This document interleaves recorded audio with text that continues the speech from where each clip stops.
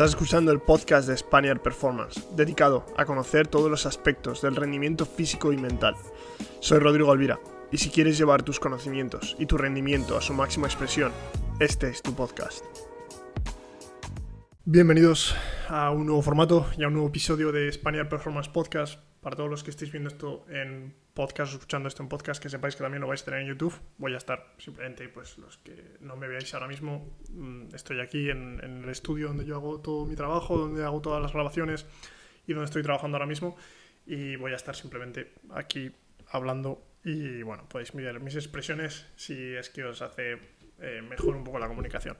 Básicamente lo que quiero con este podcast eh, es continuar con el podcast principalmente y empezar a darle un, sentido un poco más crítico al podcast, una, plataforma básicamente en la cual yo puedo expresarme un poco más de manera abierta, digamos, de manera más extensa, eh, expresando todas mis ideas un poco de manera eh, ya desorganizada, pero, pero extensa. Seguiré trayendo personas, individuos, eh, entrenadores, científicos que vayan aportando mucho a este podcast y bueno, más adelante también dentro de estos episodios más individuales, lo que quiero también es traer personas, deportistas, entrenadores, cualquier persona que, a mí me aporte en el sentido de que yo pienso que tiene buenas ideas y que puede hacer que la conversación fluya, que salgan buenas ideas, que, bueno, que al final que, haga esto un poco más interactivo. Entonces, lo que haré probablemente es seleccionar un tema eh, que me vais preguntando de vez en cuando, sobre todo por Instagram, por YouTube, por el canal de Discord, por el canal privado que tenemos de la comunidad, por donde, por cierto, tenéis los links aquí para, para si queréis echarle un ojo, entrar y, formar parte de la comunidad privada, que es donde yo suelo contestar dudas de manera más frecuente día a día y donde todos, eh, la gente que, conoce España Performance, pues colabora y, se echan una mano entre ellos. Entonces me vais a ver de vez en cuando, si estáis viéndome en YouTube, interactuando un poco con las pantallas, porque tengo cosas escritas, tengo ideas, eh, voy buscando cosas a la vez si es que necesito y lo voy a hacer completamente abierto. No, no va a haber casi edición, salvo que yo me pare un segundo a buscar algo que me cueste mucho rato, que le, le, pegaré un corte para que no os tengáis que tragar aquí toda la chorrada. Otra cosa que también va a hacer es que no va a haber mucha censura, digamos, en el sentido de que yo voy a expresarme como quiera, según cómo me sienta en el tema del que hablamos. Y eso, pues si hay alguien que le puede molestar, pues ya sabe que hay una cruz arriba que, bueno, pues te lo cierras, te dejas de escuchar y te vas a tu casa. Pero bueno, eh, sin faltar sobre todo. Pero bueno, vamos a, vamos a hablar con el, tema de hoy directamente. Es eh, que para mí hay una de las preguntas que se hace constantemente, tanto entrenadores como, como deportistas, que hablan acerca de, si la recuperación hoy en día es mejor, si el entrenamiento es mejor de lo que era hace 20 años o, o antes. Y, dentro de esta pregunta hay muchos detalles de los que quiero hablar, pero el tema principal aquí que realmente ha inspirado un poco este tema del podcast es que la industria del fitness, la industria de la preparación física, la industria de la fisioterapia, de la recuperación, todas estas que son industrias que están como un poco en tierra de nadie siempre, porque es verdad que hay mucho conocimiento detrás, pero también hay muchas personas y muchos individuos que creen tener los conocimientos suficientes sin realmente tenerlos para poder eh, hablar, para poder ejecutar una profesión, sobre todo aquí en Estados Unidos, que es una profesión mucho más abierta, tú no necesitas, no estás protegido por un colegio como puede ser en España, etcétera, etcétera.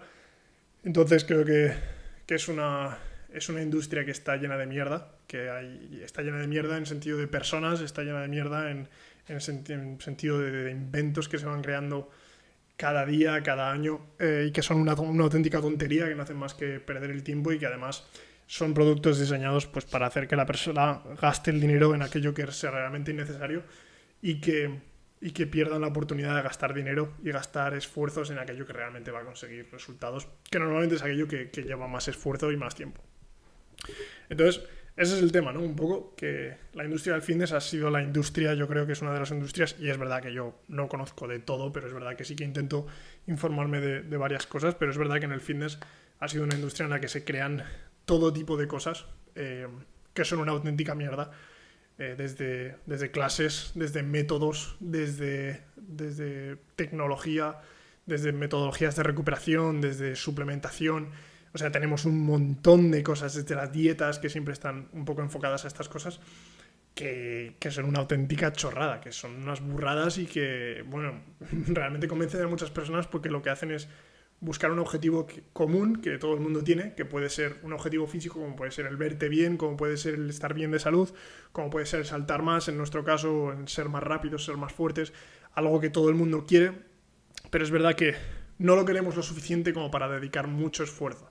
Hay otras cosas que requieren mucho más esfuerzo para nosotros, como puede ser el dinero. En eso sí que hay muchas personas dispuestas a, a a, gastar más tiempo, a gastar más esfuerzo, y aún así es otra industria en la que nos encontramos en el tema de los negocios, de todo el mundo es un emprendedor ahora, eh, ya puedes tener millones de papá y mamá y eres un emprendedor, o puedes ser un pagotilla, un tonto que, que aún así te crees un emprendedor y, y por haber subido cuatro vídeos, pues eres un emprendedor, ¿no? Entonces, puede que sea otra de las industrias ahí que, en la que nos encontramos un montón de tonterías. Pero la pregunta principal aquí que, que se hace muchas veces es, ¿es mejor hablando de la recuperación, después de todo, el progreso que hay hoy en día, eh, acerca de la tecnología, acerca de los conocimientos en ciencia que tenemos, hay una mejor capacidad de recuperación de un deportista, de una persona normal que está haciendo ejercicio en el día a día. Y, y, se supone que la respuesta debería ser sí por los avances que ha habido. Ha habido avances en la medicina, ha habido avances en un montón de cosas que realmente deberían hacernos pensar que, joder, hoy en día, pues eh, la recuperación de cualquier persona, ya sea de una lesión, ya sea de, del día a día de trabajo, del día a día de entrenamiento de un deportista, debería ser mejor, ¿no?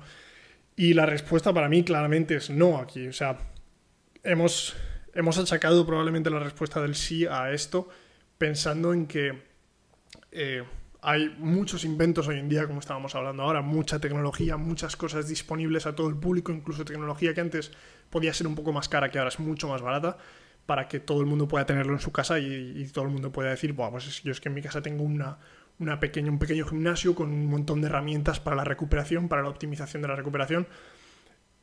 Pero seguimos sin darnos cuenta de la parte principal de la recuperación, de, de que una persona de que su cuerpo eh, vuelva a un estado de homeostasis, ¿no? De, vuelva a un estado de, digamos, de que el cuerpo en sí mismo esté en un estado de capacidad de recuperación en sí mismo. Nos olvidamos de que nuestro cuerpo está diseñado para enfrentarnos a estresores y adaptarnos a esos estresores, no solo yendo adaptándonos poco a poco, ese es el proceso de recuperación en el cual nos exponemos a un, a un estresor y después nos adaptamos a ese estresor para cuando nos volvamos a enfrentar a él estemos preparados y no necesitemos todo ese proceso de readaptación. Y nos olvidamos de que nuestro cuerpo está diseñado para eso. Es nuestro cuerpo el que se encarga de hacer eso. Nosotros tenemos que facilitar que nuestro cuerpo haga eso.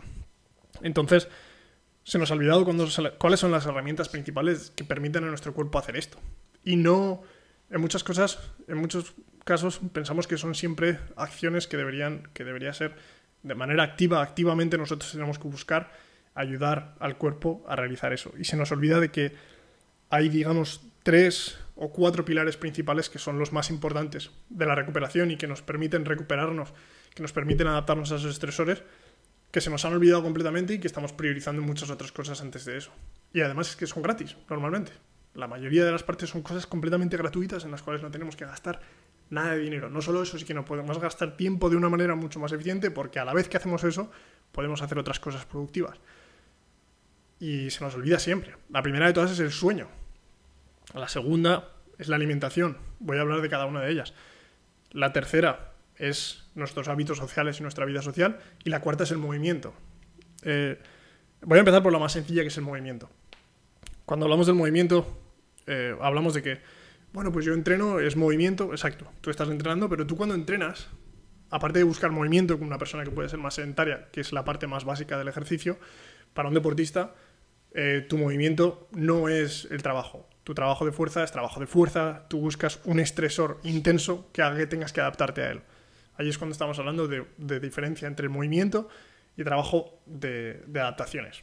Las adaptaciones las podemos conseguir a través del movimiento, pero el movimiento solo va a conseguir adaptaciones en aquellas personas que tienen muy poca eh, exposición a estresores, es decir, personas que son muy sedentarias, con lo más básico que podría ser el movimiento de recuperación para un deportista, podrán conseguir adaptaciones. Pero si estamos hablando de deportistas, en este caso, el movimiento es una de las claves para la recuperación. Es decir, si nosotros hacemos que nuestro cuerpo esté completamente parado después de un trabajo de fuerza, hay muchos factores dentro de, de, nuestro cuerpo que no van a poder funcionar. Y uno de ellos es el movimiento, el conseguir eh, movernos a lo largo del día, tanto sea andar, tanto sea estar de pie, tanto sea eh, colocarnos en diferentes posiciones mientras hacemos algún trabajo, que puede ser sentado, pero podemos estar en el suelo, podemos colocarnos en posición de sentadilla, podemos colocarnos en posiciones en las cuales provoquen elongación de musculaturas y no estar siempre en la misma posición, que lo que hace es básicamente no permitir que el cuerpo eh,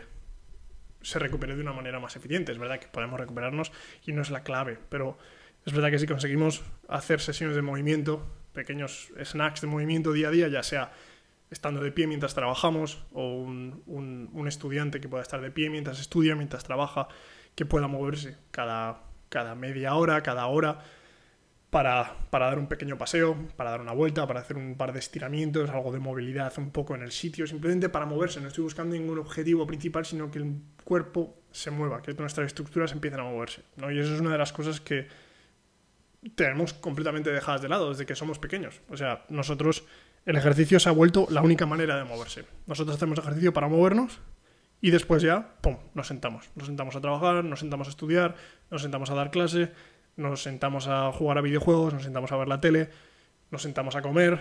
Entonces, estamos todo el día sentados. O sea, pasamos gran parte del tiempo, joder, estoy sentado yo ahora mismo. Es verdad que tengo una mesa que me puedo levantar y puedo hacerlo para levantarme. Pero bueno, em, estamos en un momento en el cual esa es una de las partes que, faltan muchísimo. No solo ya, y estoy hablando de deportistas ahora mismo, que el movimiento podría ser una manera de recuperación. Pero es que esto va a pasar también con personas sedentarias. Ese es el principal problema. Entonces, no podemos convertir el ejercicio en nuestro movimiento, el movimiento es movimiento y es parte, debería ser parte de nuestra vida y el ejercicio es una cosa aparte, un ejercicio es esa, esa área en la que nosotros buscamos adaptaciones para un objetivo concreto. Para algunas personas simplemente va a ser un mantenimiento de masa muscular, va a ser un aumento de masa muscular, en algunas personas va a ser la mejora del movimiento porque llevan mucho tiempo parados, en personas mayores puede ser ese el objetivo, pero es que si nosotros estuviéramos desde que somos pequeños haciendo ese trabajo de fuerza, ese trabajo de ejercicio, no necesitaríamos volver a recuperarnos. El movimiento sería nuestro día a día y el trabajo de fuerza, el trabajo mm, en el que igual nosotros una vez más buscamos adaptaciones, sería el trabajo que haríamos pues dos, tres, cuatro, cinco veces por semana, depende de quién seamos y de qué objetivos tengamos. Entonces esa es una de las partes que faltan que desde que somos niños. O sea, uno de, las, uno de los problemas grandes que tenemos ahora mismo es el desarrollo de, los niños más pequeños que empiezan, yo cada vez lo veo más, niños que, que, que no son, yo, recuerdo mi generación, incluso generaciones anteriores, que no, joder, somos gente joven todavía, que ya estábamos en una situación en la que no nos movíamos, pero es verdad que todos somos capaces de... La, gran mayoría de personas que hacíamos algún tipo de deporte o que normalmente jugábamos en el patio, pues que Mm, somos capaces de, rendir, digamos, de alguna manera u otra algún tipo de deporte. Siempre tenemos, tenemos una base de movimiento en la cual todos, yo sé que si nos vamos a poner a jugar a Spikeball, que es un juego que normalmente cada casi nadie juega de manera profesional o de manera dedicada, todos vamos a aprenderlo dentro de pues, la primera, las primeras dos horas, los primeros dos días jugando, aprendemos a jugarlo y empieza a ser algo ya competitivo entre nosotros. Y conseguimos adaptarnos a esos esos estímulos de manera muy fácil porque tenemos un bagaje desde que somos pequeños de, control motor y de movimiento que es súper importante. Y yo cada vez que he entrenado a niños pequeños, cada vez que entreno a niños pequeños y van pasando los años, me encuentro con más, con más niños con problemas de espalda, con más niños que les cuesta muchísimo aprender patrones de movimiento, ya sea dentro del gimnasio, fuera del gimnasio, en carrera, cambios de dirección, salto, y los ves moverse y es que parecen auténticos patos. Y eso, joder, eso es un problema ahora mismo, porque eso al final eh, es lo que va a crear el problema en el futuro para esas personas que van a tener problemas ya no solo para, desarrollar un ambiente físico deportivo, que ya no es la parte más importante, porque el niño que, hace deporte hace deporte y esas cosas las va, las va obteniendo, sino para, el día a día, para cuando se va haciendo más mayor, ya no tiene esa habilidad, no tiene ese aprendizaje motor, ese bagaje que puede tener desde que es pequeño, ya no lo ha conseguido y probablemente sea muy difícil que lo consiga cuando se haga más mayor. Entonces, y lo mismo pasa con otras propiedades deportivas que hemos hablado muchas veces. Los primeros años de vida, los primeros años de adolescencia, etcétera, etcétera, son súper importantes para que, para que un niño se desarrolle y empiece a aprender eh, todas esas habilidades y luego se queden con él y, que eso, eso luego no se olvida. O sea, eso es algo que se mantiene a nivel neural y que luego nosotros somos capaces de aplicar cuando tenemos que enfrentarnos a alguna situación nueva. Entonces eso, el movimiento. La, la segunda parte, que son los hábitos sociales, creo que es...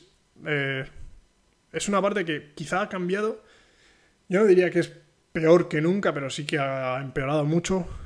Y, yo creo que la pandemia también tiene algo que ver con todo esto. Y es que el, digamos que los encuentros sociales, eh, la vida social de las personas, de los niños también, e incluso de nosotros, personas más adultas, incluso los más adultos, se ha vuelto tan tecnológica, digamos, que hemos perdido un poco la capacidad de, de establecer esas conexiones sociales en persona.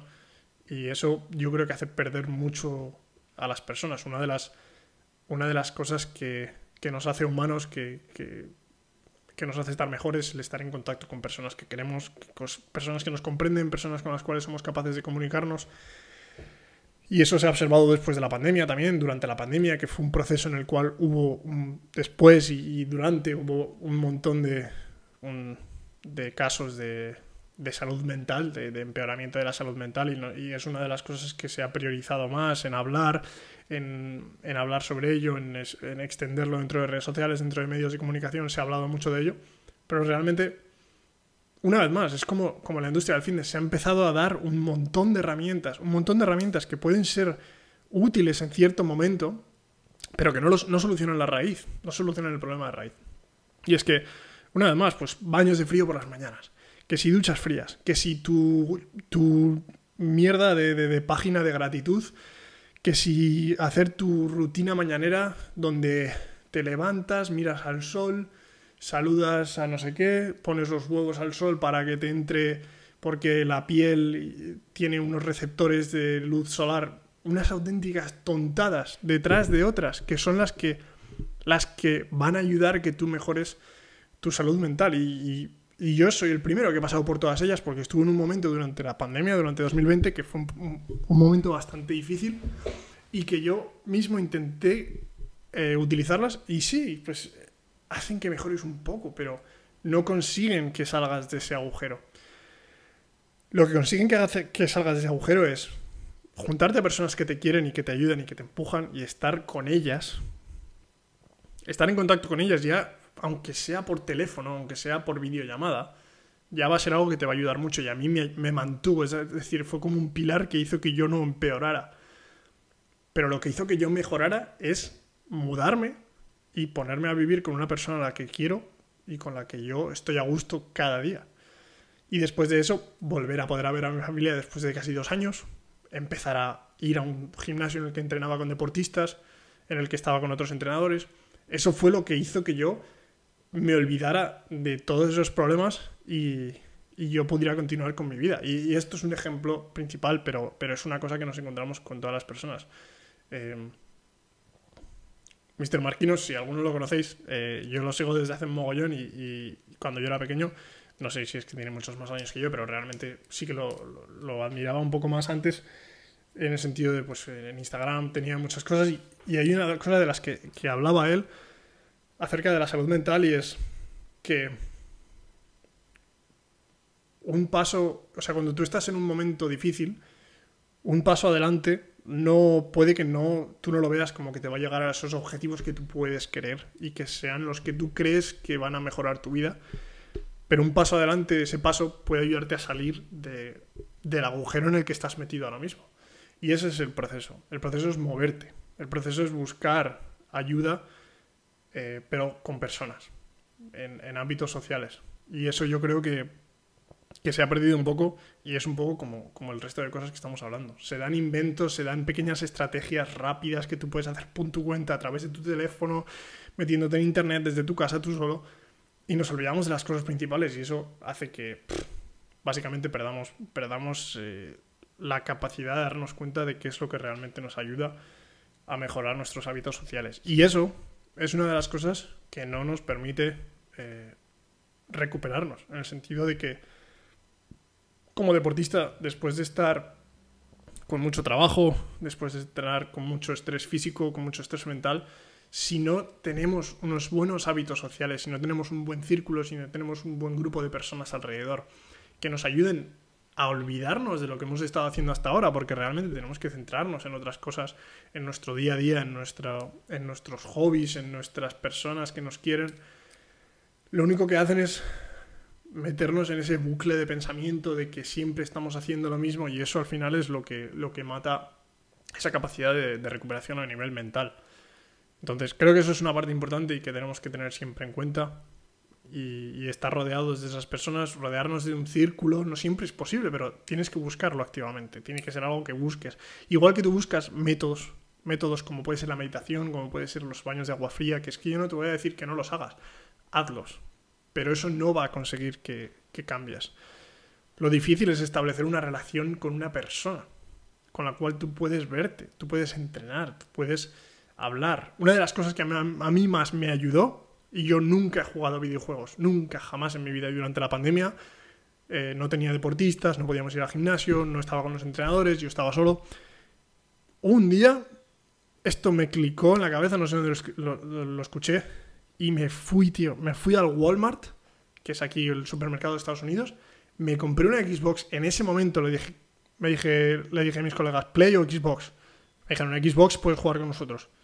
Porque ellos tenían PC o lo que sea. Y me fui directo, tío, y me cogí la Xbox, me fui a casa y la instalé, ta, ta, ta, y me puse a jugar. Y desde ese día, las dos horas o las pocas horas que yo podía dedicar a jugar con mis amigos eran las mejores horas del día. Porque, porque estaba con mis amigos, me olvidaba absolutamente todo.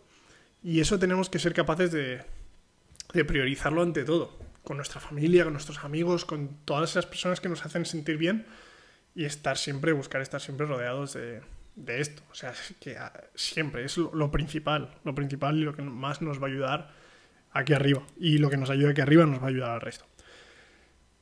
La alimentación es la segunda parte y no me voy a meter mucho aquí porque es que sé que, que va a salir algún tonto y me va a decir, pero es que tú no eres nutricionista o lo que sea. Me da absolutamente igual y no me estoy metiendo a dar consejo de nada a nadie, pero la alimentación hoy en día es peor que nunca, porque nos falta tiempo para, para cocinarnos, puede ser, a los padres les falta tiempo para cocinarle a los hijos, a los estudiantes les falta tiempo para cocinarse a sí mismos y cuando nos hacemos adultos por el trabajo nos falta tiempo para cocinarnos y hacernos comida más sencilla. Y eso es mentira. No tienes que hacerte un plato cinco estrellas para comer todos los días bien para comer productos naturales, productos que no sean procesados. Y ya no voy a ir más allá, de dietas, ni de chorradas, ni de que si, que si grano, que si patata, que si carbohidrato, que si grasa, que si saturada, que si poliinsaturada, que si los aceites vegetales. Me da absolutamente igual, no me voy a meter ahí para nada. Pero todo ser humano es capaz, o debería ser capaz, o intentaría, debería intentar conocer la diferencia entre lo que es un alimento natural mínimamente procesado posible, desde su creación del propio alimento, desde, la, desde que se crece la planta, desde que se crece el animal, hasta que nos llega a nosotros.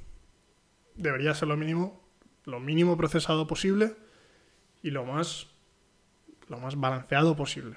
Y sobre todo, comer pues las suficientes cantidades que nosotros necesitamos, ya somos deportistas o no, y no experimentar con auténticas chorradas. Hay un montón de modas, de chorradas, de que si veganos, que si vegetarianos, que si carnívoros, que si cetogénicos, que si tal y que si cual. O sea, yo sé que todo eso, porque es nuevamente como surgen los inventos, son herramientas que se crearon en algún momento para situaciones específicas para personas que lo necesitaban.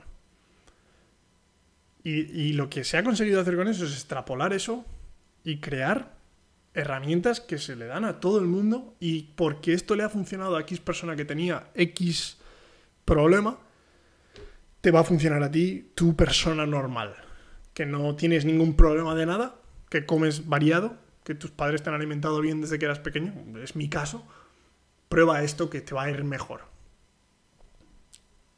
¿Qué quieres que te diga? No, no, no me parece me parece una auténtica chorrada.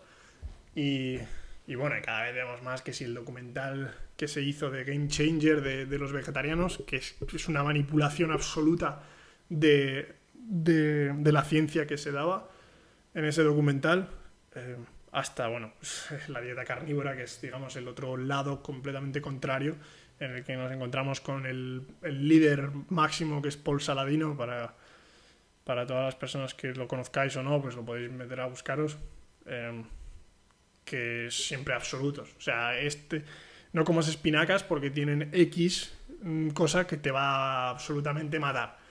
Tú comes espinacas y te mueres. Punto, ya está. Eh, es una barbaridad, tío, lo de la alimentación. Busca la manera de alimentarte que más te convence a ti y sobre todo elimina lo más procesado que puedas.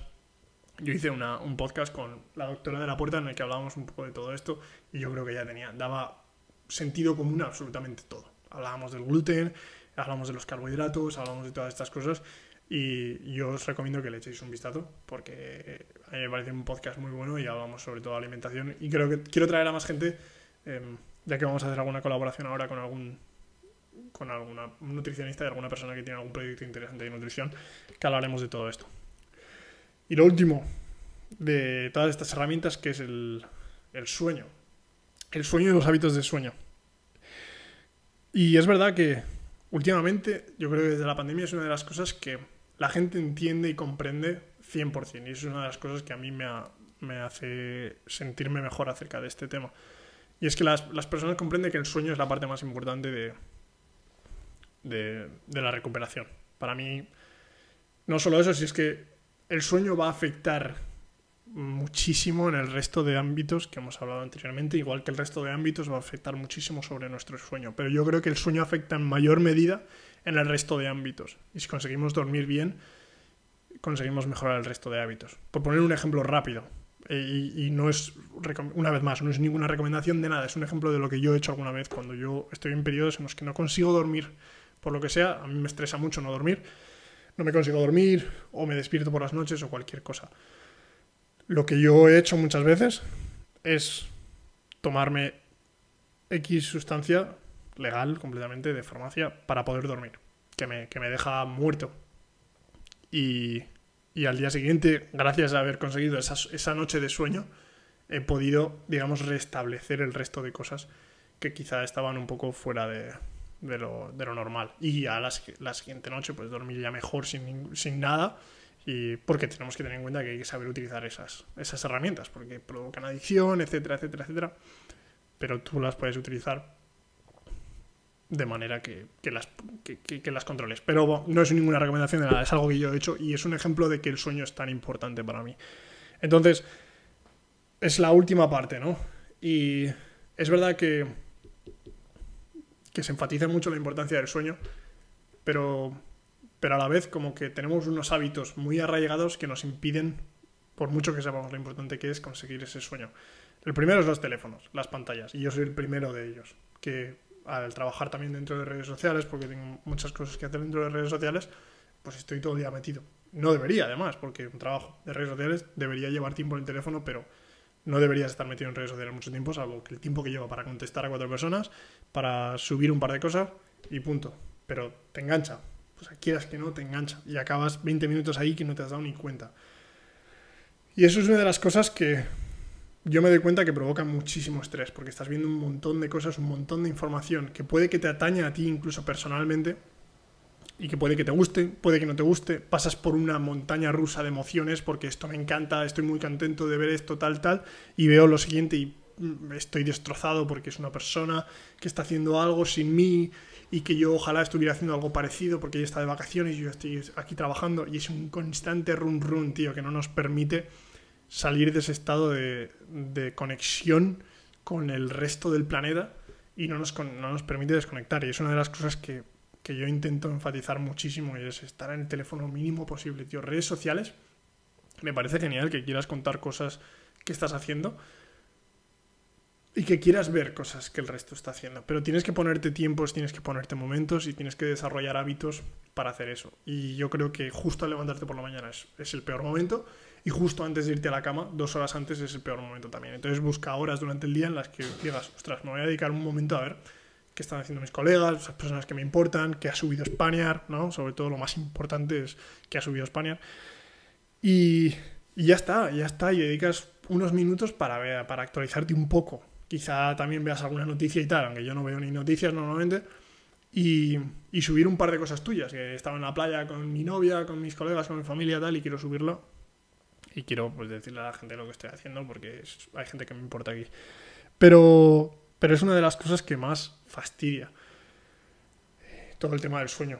Y luego em, hay que buscar tus propias maneras de, mejorar el sueño. Yo creo que se han extendido un montón de, de cosas, desde la suplementación hasta técnicas para dormir mejor, que se han popularizado y realmente no tienen, no tienen una sustancia, o sea, pueden tener una sustancia científica hasta cierto punto de cómo puede afectar al organismo, pero a través, aparte de cómo afecta algo al organismo, cada organismo es tan diferente que un efecto provocado a, nivel fisiológico puede, puede, puede desembocar en un sitio en una persona y en otro sitio para otra persona, ¿vale? Porque esa es una de las cosas que después de entrenar con muchos deportistas y trabajar con muchas personas me he dado cuenta, ¿no? Que, que un mismo efecto fisiológico en una persona eh, acaba expresándose de una manera diferente. Depende de, cuál, de quién sea la persona. Entonces, no siempre va a funcionar y tienes que encontrar a, través de experimentar poco a poco en momentos en los cuales tú no duermes tan bien, que quizá este suplemento de, cierta manera puntual te puede echar una mano, que acudir a un médico pues, para hacer unos análisis de sangre por lo que sea, algún déficit, alguna cosa te puede echar una mano también, que leer te puede, echar te puede ayudar, que escribir te puede ayudar, que ver X serie que, que te haga olvidar de las cosas te puede ayudar, que echar una partida a la play con los colegas antes de dormirte hace que te quedes bien tranquilo y te puede echar una mano también. Nadie, no hay nadie aquí con la autoridad suficiente de decirte qué es lo que tienes que hacer para dormir mejor. Hay miles de herramientas, miles de herramientas que se hablan constantemente, pero tú tienes que probarlas todas ellas. Y hay gente que se queda sobada viendo la tele. Y eso va en contra de tus ritmos circadianos y bueno, te lo han dicho los cetos, tío. Pues es que me la pela. Si te funciona a ti y tú duermes bien y eso te está ayudando a dormir, pues hazlo. No hay nadie que te pueda decir qué es lo que funciona y qué es lo que no. Hay cosas que pueden de manera general funcionar y hay cosas que pueden que no funcionen. Pero no podemos no podemos hacer extremos de todo y pensar que algo es absolutamente malo para todo el mundo.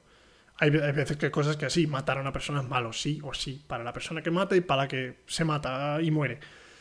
Pero entendéis lo que estoy diciendo aquí, ¿no? Es buscar eh, esas, esas medias verdades y, encontrar esa escala de grises que nos puede funcionar a cada uno de nosotros. Y esa es la parte más importante, que, que todo el mundo busca soluciones rápidas a algo y no, no, no, existen.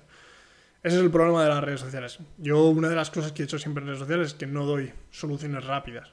Eh, no existen las soluciones rápidas para problemas importantes. Cuando tú quieres algo de verdad, una solución rápida no te, da, no te va a dar lo que quieres. Va a costar mucho establecer algo que a ti te importe de verdad y que valga la pena a largo plazo. Y lo mismo pasa con la recuperación. La recuperación es la que es. Tenemos que ayudar a nuestro cuerpo a que recupere de manera de la manera habitual y, dejar que, los procesos de recuperación del cuerpo sigan su curso e intentar no interrumpirlos, que es a través de mantener estos hábitos tan importantes, no solo no interrumpirlos, sino que darles, eh, la, darles la autoridad suficiente para que ellos eh, sigan esos procesos. Y, y el resto de cosas son un 0,0000 y seguiría diciendo ceros 1% de la recuperación. El foam roll puede que te eche una mano, puede que te ayude. Pero el foam roll no va a acabar con todos estos problemas que tienes alrededor. Las botas de compresión pueden echarte una mano, pero ten en cuenta que las botas de compresión son una puta pasta. Son un pastón. Busca otras herramientas. No las necesitas. ¿Qué organizaciones tienen todas, todos estos elementos de recuperación? las organizaciones que tienen muchísima, muchísima pasta. ¿Y para qué creéis que esas organizaciones tienen todas estas herramientas? Primero, porque probablemente puede que el director de Sport Medicine, por ejemplo, de medicina deportiva, piense que ayuda, que esto es lo que necesitan. Segundo, porque a ellos y a los preparadores físicos también, a nosotros, te da bombo como profesional. Yo tengo X tecnología y la puedas poder utilizar conmigo. Yo sé cómo utilizarla y aquí, aquí podrás trabajar con ella. La técnica chorrada es intentar darle valor a la profesión donde no está el real, el real valor, el, valor de verdad no está ahí. El valor de verdad está en las cosas que acabamos de hablar. en aprender a manejar esas cosas, en que yo pueda aconsejarle a una persona, a un deportista, estos hábitos, cómo los puedes mejorar, en lo que yo te estoy diciendo ahora mismo, y que tú cojas esto y lo hagas y, y utilices estas herramientas. No en que yo te dé la tecnología, toma, toma. La luz roja, me encanta, me encanta, tío, me encanta. Pero cuesta un pastón. No todo el mundo puede permitirse la luz roja. Y si tenemos 10.000 problemas antes de la luz roja, pues es que la luz roja no va a hacer absolutamente nada. Y lo mismo con el resto de herramientas, las, pistolas de, percusión, de, masaje, como queráis llamarlas.